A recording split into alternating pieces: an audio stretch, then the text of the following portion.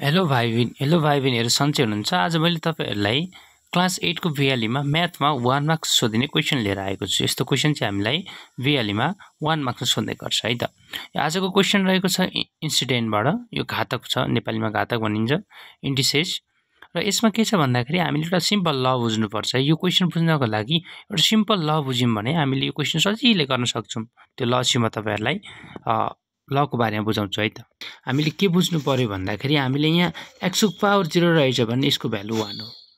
यो एक्सको power zero यसको भ्यालु वान हामीले यसलाई प्रुफ गर प्रुफ पनि गरेर हेर्न सकिन्छ तर मैले अहिले तपाईँलाई त्यो बुझाउँछु।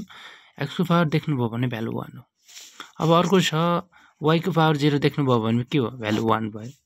हन्ड्रेडको पावर जिरो देख्नुभयो भने यसको भ्यालु के भयो? वान भयो। एको पावर जेरो देख्नुभयो यसको भ्यालु पनि वान भयो। अब तपाईँहरूले अर्को भनेको A plus बीको whole power A plus B whole power zero देख्नुभयो भने पनि यसको एन्सर वानै हुन्छ। तपाईँले जेको पावर वान जेको पावर जिरो देख्नुहुन्छ नि त्यसको एन्सर के हुन्छ? वान हुने भयो है? अब हामीले यहाँ क्वेसनमा जाउँ क्वेसनमा के छ भन्दाखेरि if F if five power X equals to one then the find the value of X अब हामीले एक्सको भ्यालु फाइन्ड गर्नु पऱ्यो एक्सको भ्यालु फाइन्ड गर्नु पऱ्यो है? अब के गर्ने भन्दाखेरि your five power X equals to one five power X equals to five power zero अब हामीले फाइभ पावर जेरो किन गरेको भन्दाखेरि हामीले यो फाइभले त हटाउनु छ। हामीले त एक्सको भ्यालु मात्रै चाहिएको भनेपछि दुईवटा बेस त एउटै हुनु पऱ्यो नि। जब दुईवटा बेस एउटै हुन्छ हामीले यसलाई क्यान्सल आउट गर्न पायो। भनेपछि रिमेनिङ भनेको त X X equals to zero therefore X equals to zero यसरी आएको है त। यो बुझ्नुभयो होला। अब हामी सेकेन्ड क्वेसनमा जाउँ।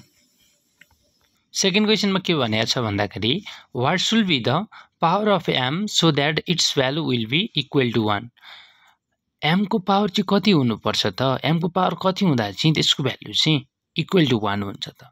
अब हेरौँ है। The power of M shall be zero so that's its value will be one M power zero equals to one किन मैले भनिसकेको छु?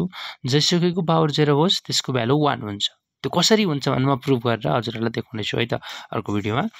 अब अर्को हेरौँ three number if Y equals to six minus Y power zero then what will the value of Y अब हामीलाई यो वाइको भ्यालु सोध्यो है।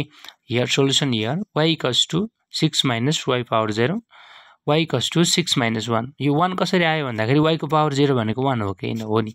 भनेपछि six minus one equals to five therefore Y equals to five यहाँसम्म नि क्लियरै हुनुहुन्छ होला। यसपछि हामी क्वेसन नम्बर फोरमा जाउँ। Find the value Y product Y power zero Y into four into four Y power zero अब four into Y power zero है मिस्टेक भएछ कि four into Y power zero हामीलाई के थाहा छ भन्दाखेरि वाइ पावर जेरो भनेको वान हो।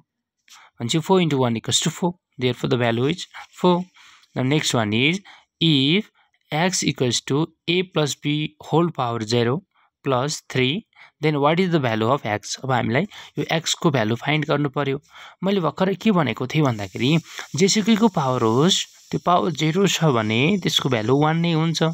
अब हामीलाई ए प्लस बी भएर के भयो त? पावर जेरो छ भने यसको भ्यालु के हुने भयो? वान हुने भयो। त्यही भएर A plus बीको whole power equals to one one plus three one plus three equals to four therefore the X equals to four भाइ बहिनीहरू तपाईँहरूले यो कन्सेप्ट बुझ्नुभयो होला। है यस्तै यस्तै म्याथमेटिकल साइन्सको भिडियोहरू तपाईँलाई चाहिएको भए भिडियो मन परेमा साथीभाइ सेयर गरेर भिडियोमा कमेन्ट पनि गर्न सक्नुहुन्छ फर्दर भिडियोको लागि। आजलाई यति नै। बुझ्नुभयो होला। यति बुझ्नु भएन भने कमेन्ट गर्नु होला म अर्को भिडियोमा फेरि बुझाउने कोसिस गर्नेछु। धन्यवाद।